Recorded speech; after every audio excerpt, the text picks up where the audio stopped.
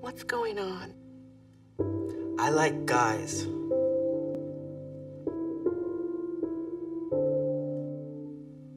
Duh!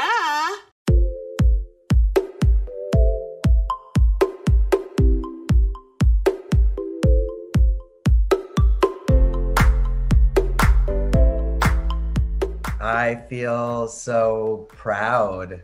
I feel like a proud papa.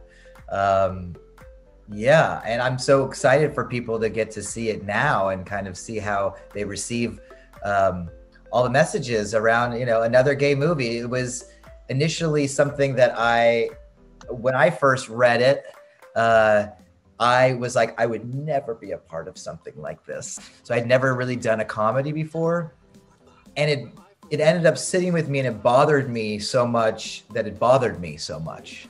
And as an as an artist, you know, that's what we kind of look for, which is, you know, where are we going to grow?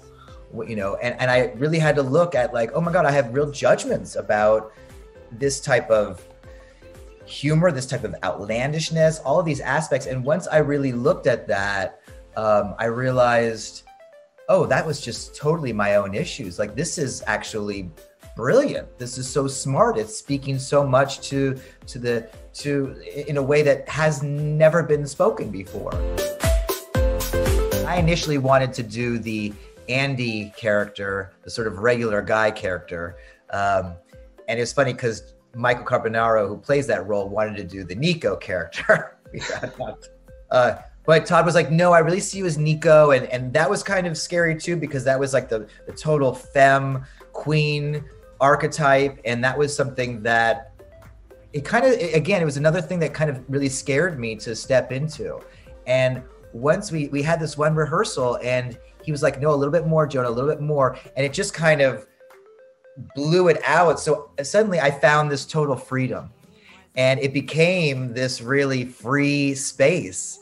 Uh to, to play and, and and once i had hit that that was really it for me i, I was like okay I, I i know what where this character is um and and who who he is and it was like playing these kind of queer characters that made me feel more comfortable in my masculinity because I got to heighten my femininity.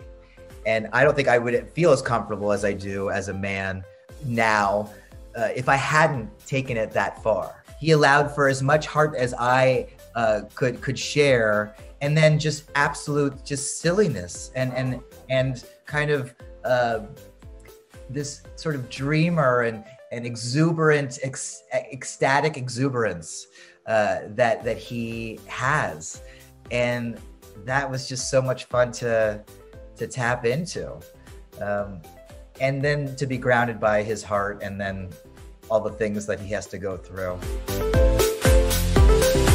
You know, there was definitely, I think, you know, people were playing around.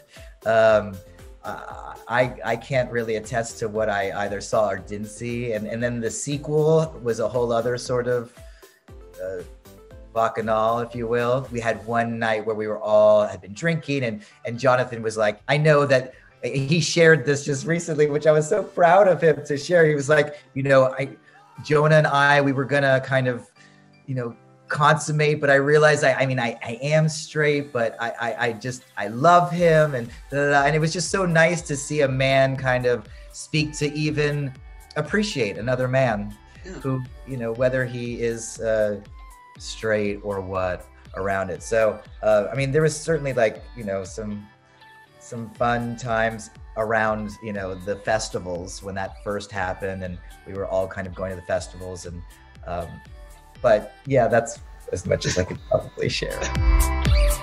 Well it must be my enema scene because that was just so it's so sexy when you have gas or, or, you know the shits and you're on a toilet and you're with richard hatch and you're dancing for him and sexy. What is sexy uh, if you're into if you're into scat that's probably your the sexy one i'm not Yeah. necessarily into that i you know i think of like the the, the sort of the heartwarming loves between griff and jared in it i think is really um kind of sexy i think kind of all the boys each kind of have their own sexy scene at some point here. I guess in the first one, I'm with Grandpa.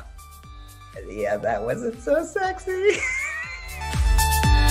I'm actually kind of curious about that. I, am just kind of fascinated by the kind of people that are okay to, to do that uh, and feel like confident uh, uh, to do it. And on some level, it's like, why not? You're getting to, you're in your own world. It's what you want to share. It's also supporting people in a lot of ways, and that's that can be really helpful. So it is certainly fascinating. It's certainly very present. It's it's it's something that is um, that is here and, and was here to stay.